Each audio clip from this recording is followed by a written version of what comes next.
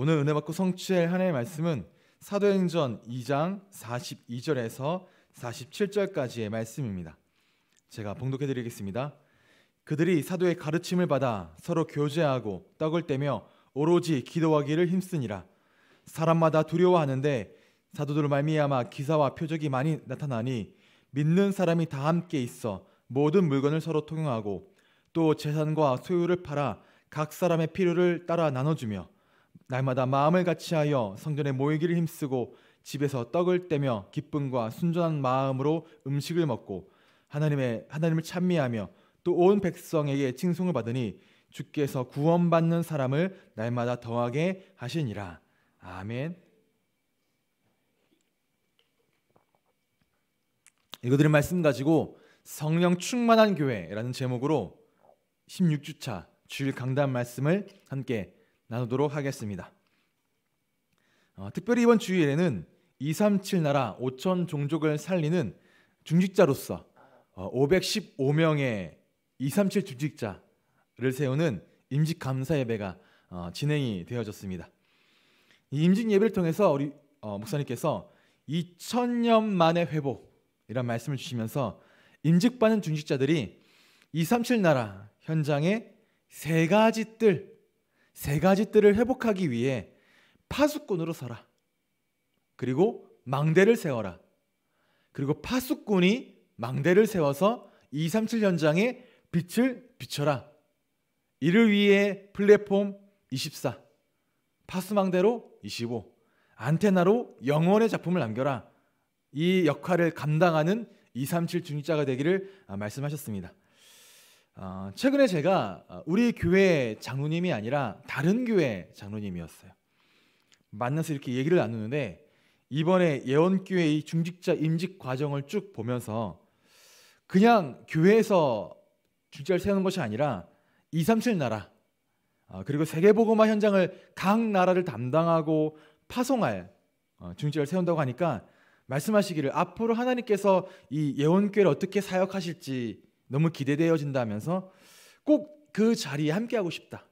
아, 그래서 어제 오셨더라고요. 그래서 인사 나누고 그랬는데 오셔서 그 자리, 그 어, 말씀, 그 현장 어, 보고 싶다는 말씀 들어서 오기도 하셨고 비단 이런 분들이 아니라 주위의 다른 교회들에서도 어, 임직하는 모습을 꼭 보고 싶다. 어, 제 아는 동기 목사님도 많이들 가셨더라. 꼭 임직을 어떻게 하는지 보고 싶다. 어떻게 세운지 보고 싶다.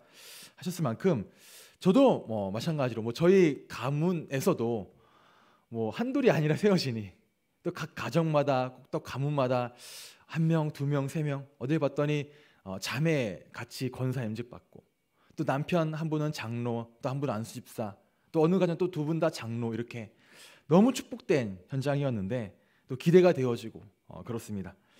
특별히 기도해 주실 것이 더욱더 우리 모든 성도님들 또 인직받은 분들이 성령으로 충만하여 정확한 말씀 주셨는 것 같습니다. 성령으로 충만하여 삶 운동의 주도자로 특별히 237 선교 시대의 주역으로 다설 수 있도록 계속 기도해 주시고 또 계속 기도하게 되어지기를 어, 바랍니다.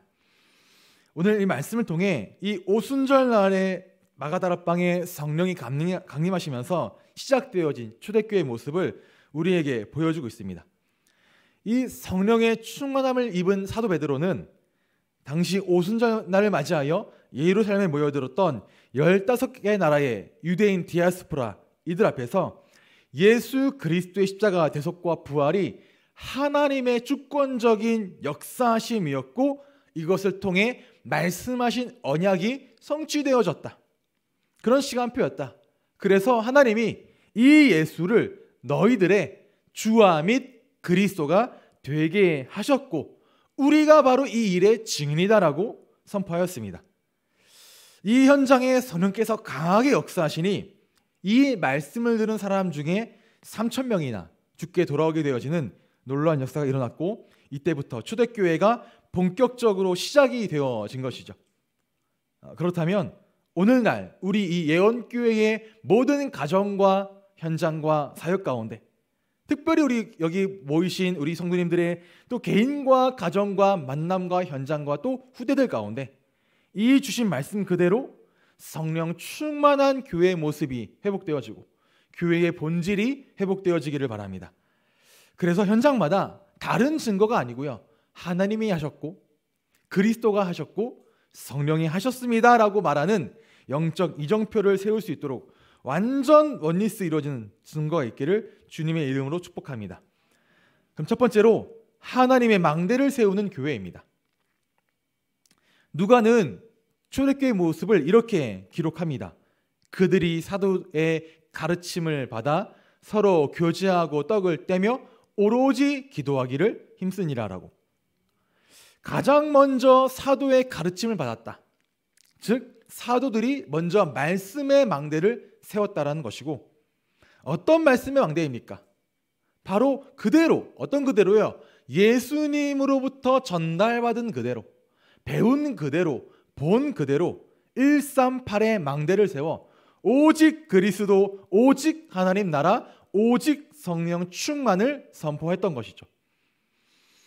그리고 이 3, 오직에는 우리 인류를 구원하기 위한 성삼위 하나님, 그 하나님의 놀라운 섭리와 사역과 역사하심, 성부, 성자, 성령 하나님의 놀라운 사역과 섭리와 역사하심이 그대로 담겨져 있다라는 거죠. 그렇기 때문에 우리가 이 3오직을 통해 24, 24시 성삼위 하나님으로 충만하여 with 임만의 원리스 이걸 체험하게 되어지면 지난주 말씀처럼 애벌레가 아니라 나비처럼 나의 모든 수준과 환경을 완전히 뛰어넘어 25의 작품, 하나님이 하셨다 하는 25의 작품, 그리고 영원에 남기는 인생 작품을 만드는 삶으로 나아가게 되어져 있고, 그때 성삼이 하나님께 하실 때 주시는 그 보좌의 능력으로 우리의 모든 영적인 DNA가 그리스도 예수 안에서 새로운 피조물이 되었고, 새 것이 되어진 그 DNA가 완전히 바뀌어져서 시 공간을 추월하여 237 나라의 빛을 비추는 초월적인 증거를 보게 되어져 있다는 것입니다. 그렇다면 뭐 해야 되겠습니까? 우리 모든 성도들께서는 오늘도 오직 138, 3오직으로 망대를 세우시고 393 보좌의 배경과 능력을 충만히 누리는 기도의 망대, 말씀과 기도로 나의 망대, 내 안에 하나님의 망대를 세우시기를 바랍니다. 우리가 망대를 세우면 우리 인생의 모든 문제 해결하신 예수 그리스도께서 우리의 모든 과거가 발판이 되게 하십니다. 우리 모든 오늘의 날들 가운데 생명적인 역동이 생기게 하십니다. 그리고 참 소망으로 기대로 설레임으로 가득 채워진 미래를 기쁨으로 맞이하게 하시고 그 모든 일에 우리를 증인으로 세우실 것입니다. 그렇기 때문에 오늘도 강단의 말씀을 하나님의 말씀으로 언약으로 붙잡고 그 말씀을 우리 삶 속에 적용하면 됩니다. 왜냐? 말씀하시는 하나님. 그 말씀이신 예수 그리스도. 그 말씀을 우리 삶 속에 현장 속에 성취하시고 적용하시는 성령 하나님. 그 성삼위 하나님이 지금 우리와 충만히 함께 하시기 때문에 우리는 말씀 듣고 말씀 깨닫고 말씀 전하는 말씀을 실행하는 자리로 나아가면 되는 것이죠. 그렇게 하나님의 망대를 내 안에 세우시기를 바랍니다. 이렇게 사도들의 가르침을 따라 성삼위 하나님과 영적 소통을 이룬 이 성도들이 그 다음에 하게 된 것은 서로 교제하며 떡을 떼는 것. 지금으로 말하면 말씀 포럼, 기도 포럼, 전도 포럼. 이 속에 있었던 것이죠. 즉, 내가 말씀을 통해 받은 그 은혜가 내가 성삼위 하나님과 소통할 때 내게 충만히 채우신 그 은혜가 보호자의 축복 누리면서 내 안에 임한 그 은혜가 나에게만 머물러 있는 것이 아니라 자연스럽게 물이 흘러내려듯이 마치 에스겔 47장 어제 그 축하 공연 때 무대 중앙에 망대를 세워서 거기서 물이 곳곳마다 흘러내려가는 걸 표현하잖아요. 와 보면서 너무 멋있다.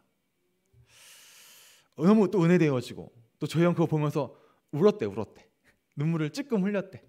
목사님 기도 들을 때 울었는데 참았다가 그거 보면서 너무 감동돼서 어, 그 흘러내려가는 그게 뭡니까? 포럼이잖아요. 내가 받은 은혜가 그대로 흘러내려가는 생수의 강이 흘러내려간 것처럼 그 영적인 은혜가 곳곳마다 흘러내려갔다라는 거죠. 그러면 삼위일주를 포함해서 우리의 모든 모임이 또 우리의 모든 가정의 모습이 이래야 될 줄로 믿습니다. 내가 받은 은혜를 전달해야 됩니다. 내가 받은 은혜를 흘러내려가야 됩니다. 신방을 다녀보면 가정의 포럼이 잘 안 된다 그래요. 저도 마찬가지입니다. 저도 제 아내에게 가서 내가 이런 은혜를 받았고 말하는 게요. 저도 참 쑥스럽고 부끄럽고 좀 그렇고 또 목사로 서서 그런가? 또 잘해야 된다라는 부담감도 있고요. 나는 항상 말씀이 정리되어 있어야 돼.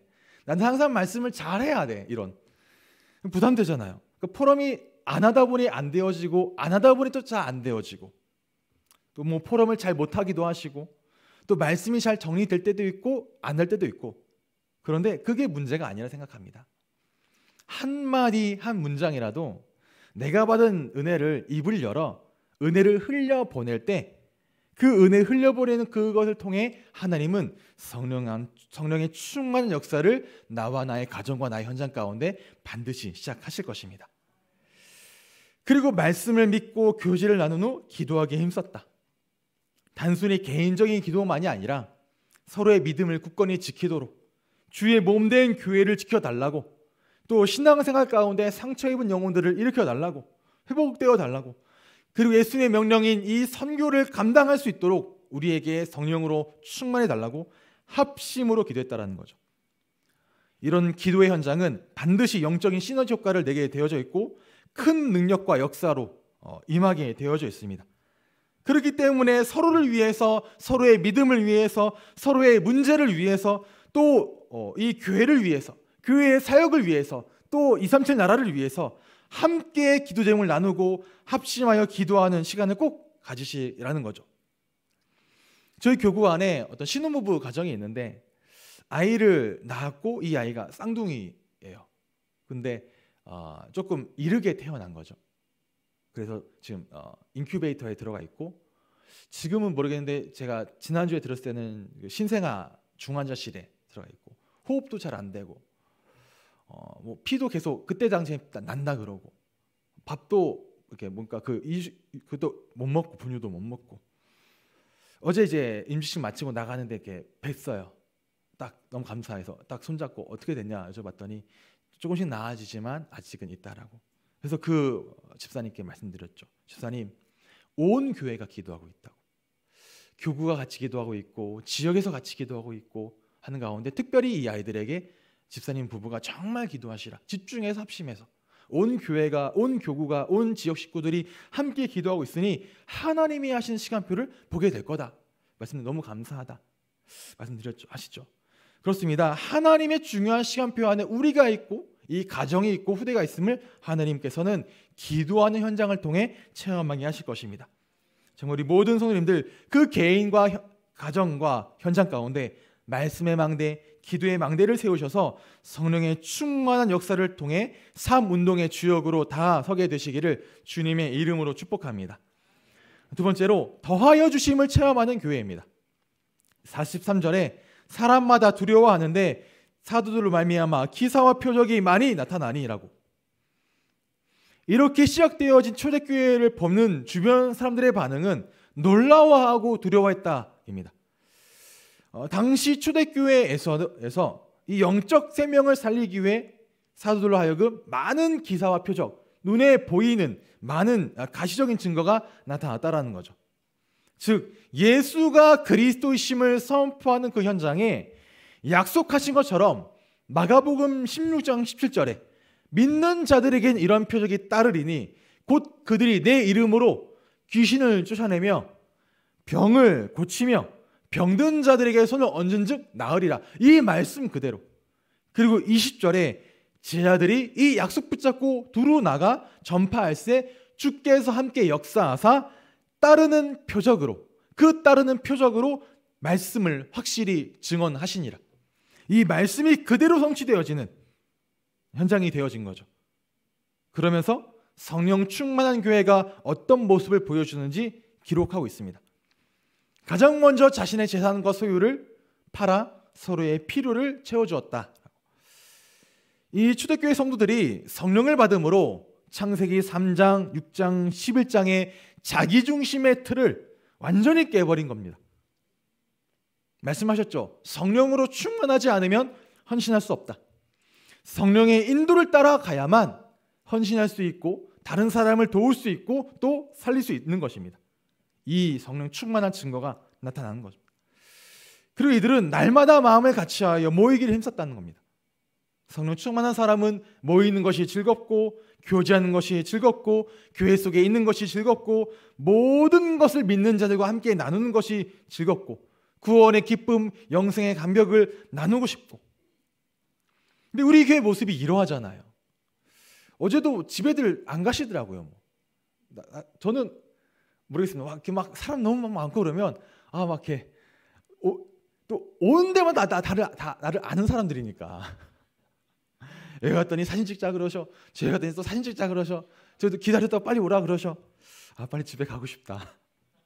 농담입니다만 어, 곳곳마다 막 다 계속 교제하고 포럼하고 교제하고 포럼하고 주일날도 곳곳마다 다 어디 가서 또 교제하고 포럼하고 축하해주고 함께 기뻐하고 얼싸안고 정말 성령 충만한 교회의 모습을 하나님 우리에게 또 보여주고 계신다 확인하게 되었고 그러면서 모여서 하나님을 전심으로 찬양하니 이들의 삶의 모습이 온 백성에게 칭송을 듣게 되었고 복음의 향기가 흘러가니 영혼 구원의 역사가 일어나게 된 거죠.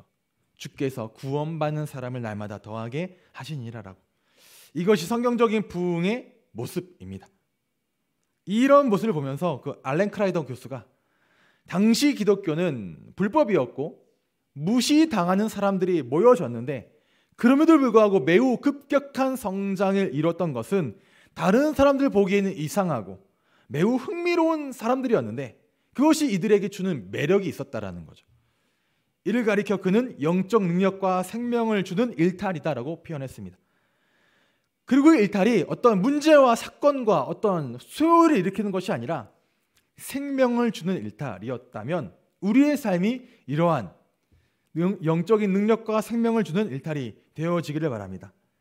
이를 위해선 우리가 먼저 복음의 능력으로 어, 성령의 충만함으로 모든 고정관념과 예틀을 깨고 복음의 선한 영향력을 입혀서 입히는 세트를 갖춰서 불신자들이 보고 감동할 정도로 영적인 매력이 있는 사람이 되어 주시고 영적인 매력이 있는 그런 삶이 되시고 또 영적인 매력이 넘치는 그런 공동체를 만드시기를 바랍니다.